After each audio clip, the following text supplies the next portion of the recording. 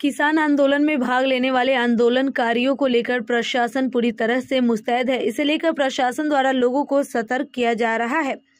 वहीं किसान आंदोलन के दौरान प्रशासन द्वारा ड्रोन कैमरों के ज़रिए वीडियोग्राफी करवाई जाएगी और आंदोलनकारियों की पहचान की जाएगी।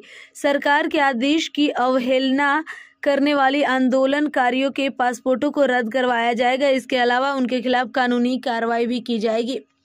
हरियाणा सरकार पुलिस एक्ट 2007 की धारा उनहत्तर के तहत सड़क या किसी भी सार्वजनिक स्थान पर सभा बुलाने, आंदोलन के लिए संबंधित पुलिस थाना को लिखित में सूचना देगी।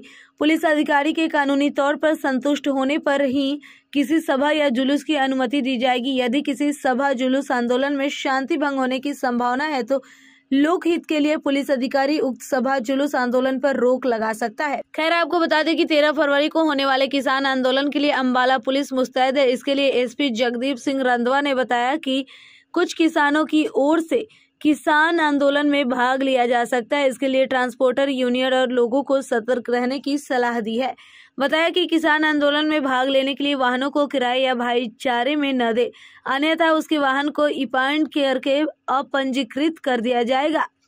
अवहेलना करने के जुर्म में कानूनी कार्रवाई की जाएगी। वहीं किसान आंदोलन के दौरान आंदोलनकारियों की ओर से ट्रक, ट्राले, बस, भारी container JCB machine, hydra machine, road roller, Poclain machine और अन्य किसी भी भारी वाहन का प्रयोग किया जाता है तो उस वाहन को ई पाउंड करके अपंजीकृत कर दिया जाएगा।